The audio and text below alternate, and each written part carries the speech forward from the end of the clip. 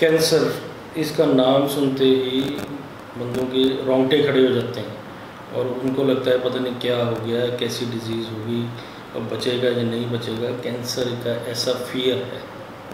मेरे पास एक केस आए स्किन कैंसर के। माइकोसिस फंगाइड टाइप का एक डिज़ीज़ है। तो उस केस में मैंने ट्रीट किया उनको तो मुझे काफ़ी अच्छे रिजल्ट्स मिले। तो मैंने कैंसर के बारे में पढ़ना शुरू किया आयुर्वेद में और भी कि किस तरह क्या चीज़ें हैं जो लोगों की हेल्प कर सकती हैं। सबसे पहले तो आपके लिए जानना ज़रूरी है कि कैंसर का वर्ल्ड कैंसर जो है बॉडी में अंदर ही डेवलप होता है, कहीं बाहर से नहीं आता। आपकी बॉडी में वो चेंजेस आती हैं जिसके कारण कैंसर के सेल डेवलप होते हैं। सबसे पहले तो बॉडी में का जो पीएच है ब्लड का पीएच लेवल है, अगर वो एसिडिक होगा तो कैंसर के चांसेस बढ़ेंगे। उसके बाद कुछ टिश्यूज़ जहाँ पर ऑक्सीजन की सप्लाई प्रॉपर नहीं पहुँचती,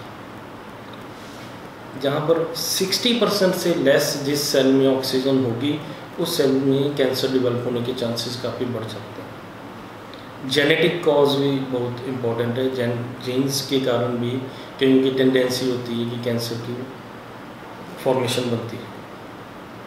तो कुछ चीज़ें मैंने अपने एक्सपीरियंस से देखी हैं और मैं अपने पेशेंट्स को गाइड करता हूँ कि अगर ये चीज़ आप करो तो उससे आपके बॉडी में उस तरह के सेल जो डेवलप होने बंद होंगे एंड जो लोग कैंसर से पीड़ित हैं, उनको हेल्प मिलेगी। सबसे बढ़िया रामबान है हल्दी। हल्दी में जो करकूमिन्स होते हैं, वो एंटी कैंसरस होते हैं, वो हेल्प करते हैं। कैंसर के सेल को किल करने में उसकी डेवलपमेंट को रोकते हैं। उसके बाद आ गया बेकिंग सोडा जो मीठा सोडा हम आम यूज़ करते हैं घरों में।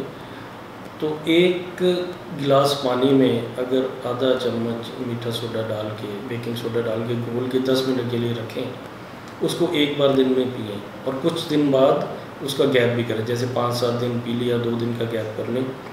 ये बॉडी में ब्लड को एसिडिक होने से रोकेगी। सबसे ज़्यादा खतरनाक है शुगर आपकी बॉडी में शुगर का लेवल ज़्यादा या आपकी बॉडी में इनटेक ऑफ़ शुगर कईयों को मीठा खाने की ज़्यादा आदत होती है, उस मीठा खाने से कैंसर के सेल को फ़ीड मिलती है। कैंसर के सेल्स उसकी फ़ीड है, मीठा उसकी फ़ीड है तो शुगर उसको बिल्कुल बंद करनी चाहिए। कैंसर के पेशेंट्स में हमने देखा है, उनको कॉन्स्टिपेशन रहती है कब्ज रहती है।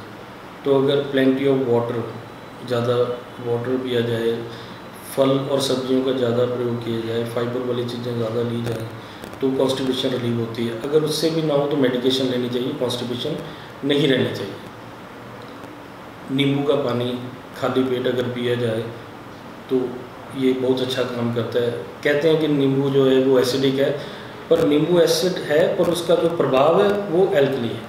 ये चीज़ें आप अगर अपनी लाइफ में इसको उतारोगे तो आपकी बॉडी में वो सेल डेवलप नहीं होंगे और जिनके जो कैंसर रोग से पीड़ित हैं, उनको भी हेल्पफुल होगा। और सबसे उत्तम जो है वो प्राणायाम है।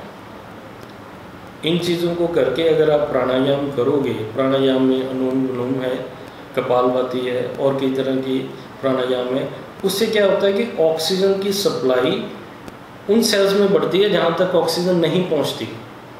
60 परसेंट से अगर कम ऑक्सीजन पहुँचे तो वो सेल के चांसेस है डेवलप होने के कैंसर में। अगर उसमें 80-90 परसेंट पहुँच रही है तो वो सेल डेवलप नहीं होगा, वो किल हो जाएगा।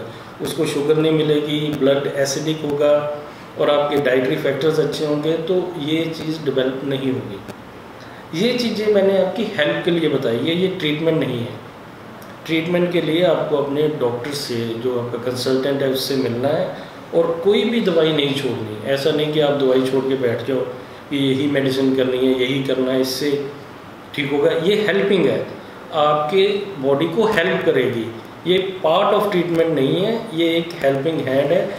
एक्स्ट्रा है रेमिडीज़ है होम रेमिडीज़ हैं, जो डाइट आपको सुधारने में हेल्प करेगी। तो मेरा यही कहना है कि आपने कोई मेडिसिन बंद नहीं करनी। कुछ भी बंद नहीं करना, सब कुछ वैसे चलता रहना है और इसकी आपने हेल्प लेनी है। Thank you very much